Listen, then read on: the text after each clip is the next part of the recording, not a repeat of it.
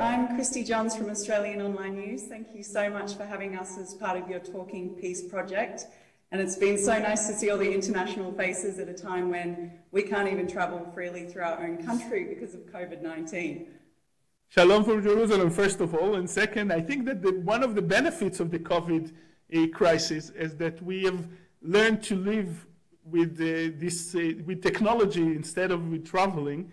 And I don't think that this kind of a project that we're trying today, we're starting today, will be possible, would have been possible if we wouldn't have changed the culture of interviewing long distance. So let's look at the silver lining in, the, in that. There's always one, isn't there?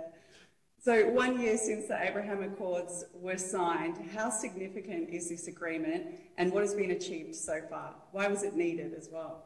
First of all, it's a very important agreement. The, the peace agreement, peace and normalization agreements that we signed with the UAE, with Bahrain, and with Morocco are a, definitely a change of the reality in the Middle East. It created opportunities for other countries, but definitely, but most importantly, it created the opportunities for the citizens of those countries to really feel the benefits of peace. It's not just a peace agreement that's signed by leaders or by politicians.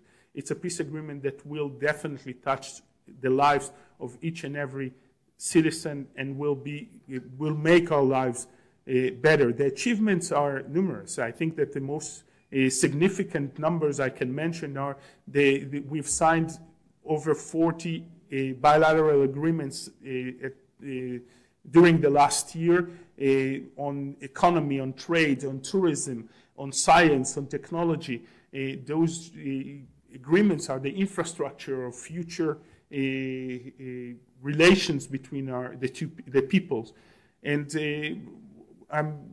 when my kids were younger, and they asked me what do I do for a living, and it was quite hard to explain what does a diplomat do, especially for young kids. I uh, usually told them that I work in construction.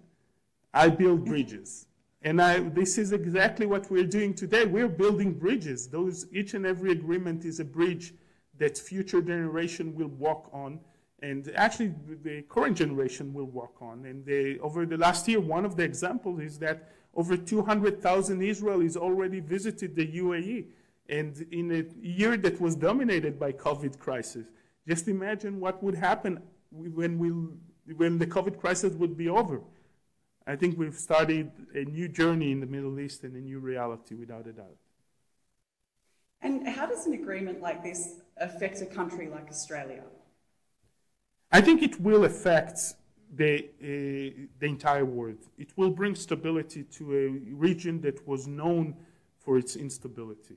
It will bring prosperity. It will create circles of influence, uh, first in the, within the Middle East and then in the uh, nearby region. But the, one of the issues that my, my, we might think in uh, talking about Australia is that it's will be a lot easier for Israelis to visit Australia and for Australians to visit Israel since we, because of the agreements, we can fly with a shorter route towards Asia and from Asia to Australia. I think that it will benefit the uh, trade between Israel and Asia.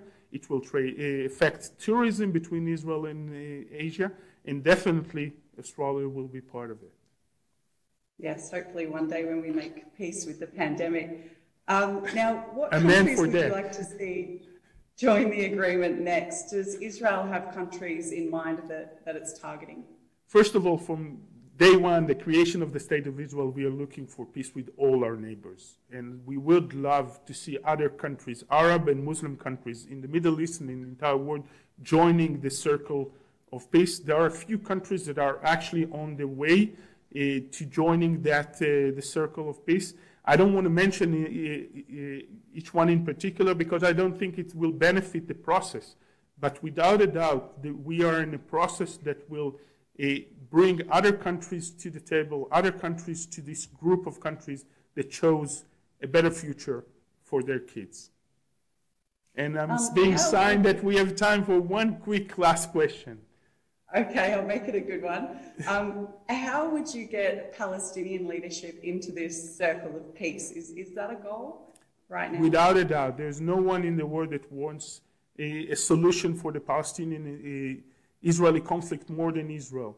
And hopefully, the Palestinians will understand that there's a choice to make whether they want to be in, in which side of history they want to be and they, whether they want to be in the group of countries that chose peace or they want to be in a group of, of countries that chose a conflict, terrorism, and violence. Hopefully, the Palestinian leadership will understand that the only way to achieve their goals is to, through direct negotiation with Israel. We do invite the Palestinians to change their uh, decision not to negotiate peace with Israel, and uh, definitely we would expect a future solution to the uh, Palestinian-Israeli conflict, and hopefully the Abraham Accords and the peace agreements in the region will affect that as well. Well, good luck for a peaceful year ahead. Thank you so much. Thanks for your time.